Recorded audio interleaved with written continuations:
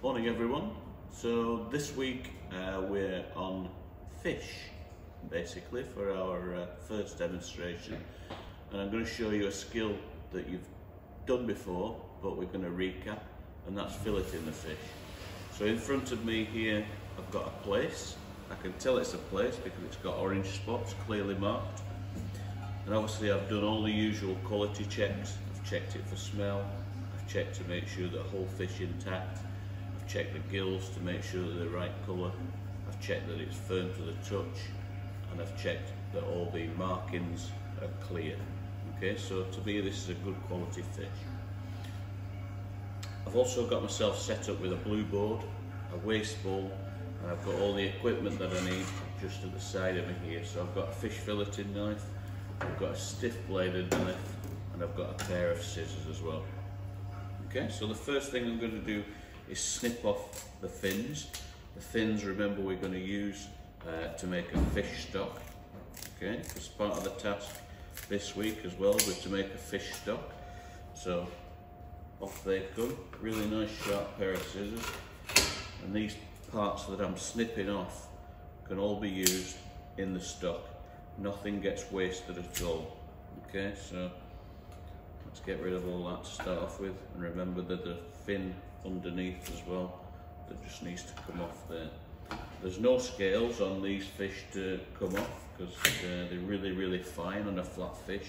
You can hardly tell they're there at all.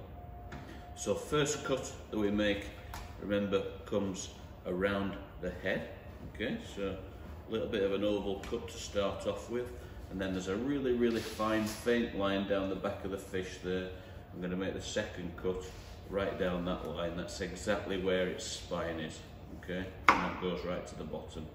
And then I'm going to just swap over knives and go to this fish filleting knife and then start to move the knife down the cut that I've made, just scraping away at the bones.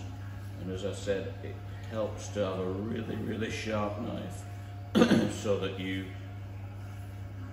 get a really, really nice clean cut. Okay, so that first fillet comes off fairly easily, like so. Okay. Then the second cut, virtually the same sort of technique. I'm just going to take off that first part there, and then, as I said before, all I'm doing is just scraping away at the fish and just really, really teasing it away from the rib bones. Comes away really, really easily if your uh, nice nice and sharp. And again, fold that fillet back over and then slide that fillet off.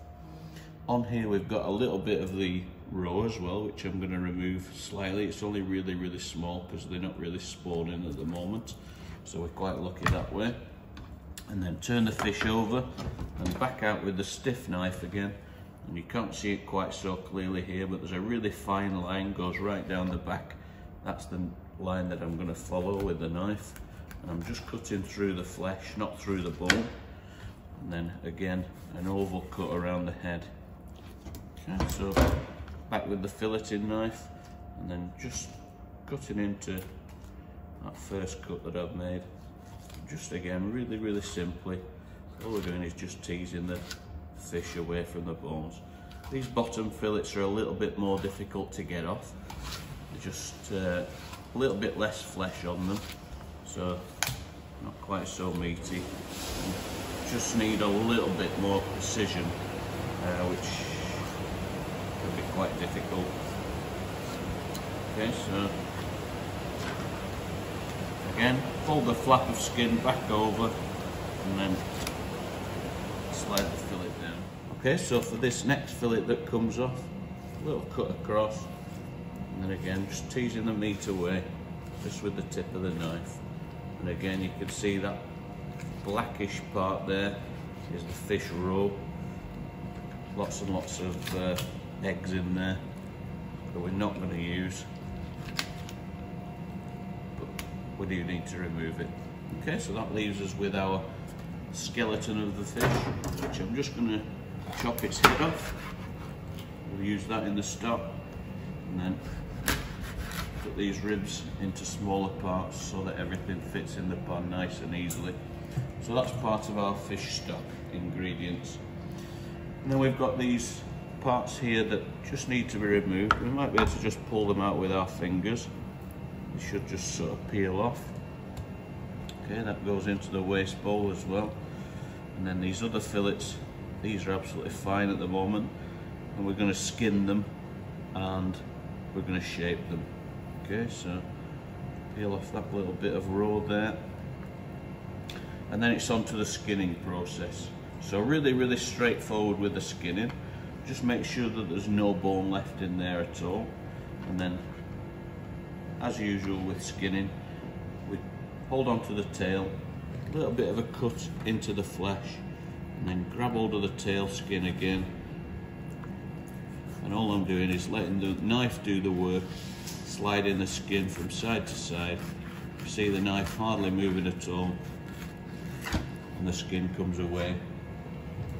There should be hardly any hardly any flesh left on there at all. Then I'm just going to trim off this little